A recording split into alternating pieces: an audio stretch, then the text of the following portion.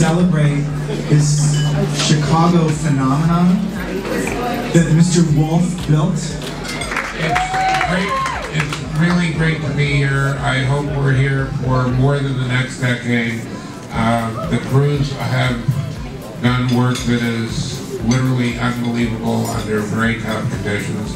Have another great season and uh, welcome to everybody from Chicago Med. This is a great city full of culture and there are many heroes in the city and hopefully we're depicting some of them and some of their stories in this trilogy. We couldn't be more proud as the NBC Network to have these three shows. Um, I'm happy to announce tonight, and this is a surprise for everybody in the room, we're going to pick up Chicago Fire and Chicago PD.